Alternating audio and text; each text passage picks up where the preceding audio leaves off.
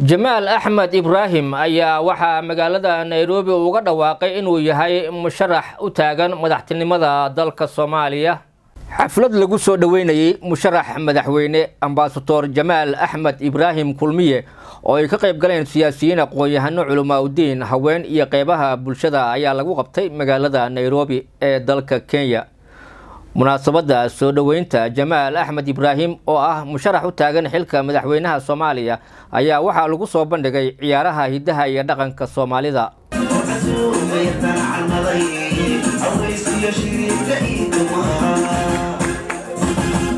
Waxaa munaasabadda soo dhoweynta ka hadlay ganacsade cabdinuur boolow nabadoono waxgarad siyaasiyiin dhalinyaro iyo haween runtii madaxweyne jamaal musharax madaxweyne ku soo dhawow bulshadaada oo ku jecel oo sidan ku soo dhaweysay adigana hadhow haddii ilaahay kugu guuleeyo inaad dhibaatada ay ku jiraan aad ka saarto waa lagama maarmaan. Inaad ka saari doonto insha allah waa ognahay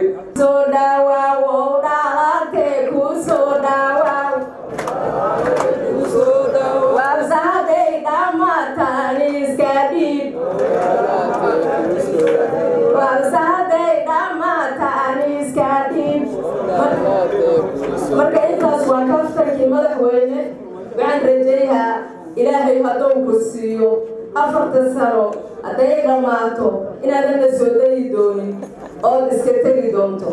wareejina doonto xilka ammaanada oo shalay lagu dhiibtay waxaana soo maray murashaxiin badan iyo madaxweyneyaal badan oo runtii wax badan noo sheegay laakiin aanan waxay noo sheegeen ka dhabay waxaan ka rajeeyaynaa doctor jamaal waxyaabaha aan muddan ay kaa sugayso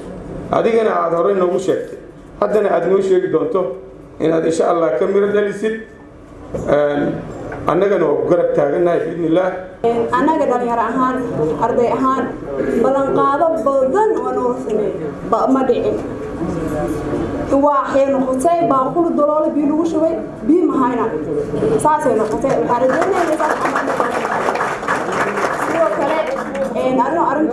baratay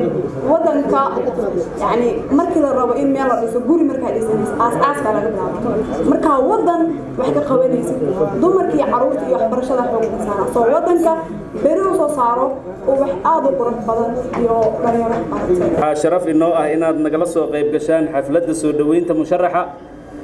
waxaan ka mahad celinayaa waqtiyadiina qaaliga ah danihii faraha badnaa oo alahaydeen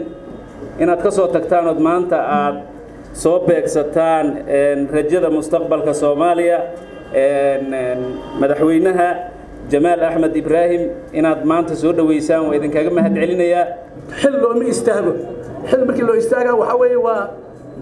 aayaddii qur'aan oo rabbi calaa khazaain arrini xafiidun caliimun nabi yuusuf alayh salatu salaam markii uu kursiga uu doonanayay waa uu ku doontay inuu khazaa'inta uu gacanta ku aamin ou yahay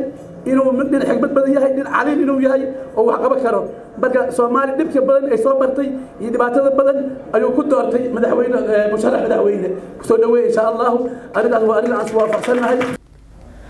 musharax madaxweyne jamaal axmed ibraahim oo ka hadlay munaasabadda ayaa faahfaahin ka bixiyey siyaasadda uu dalka ku hogaamin doono haddii loo doorto madaxweynaha soomaaliya. Waxaan u mahadnaqayaa dadkii soo xilsaaray oo xafladdan qiimaha badan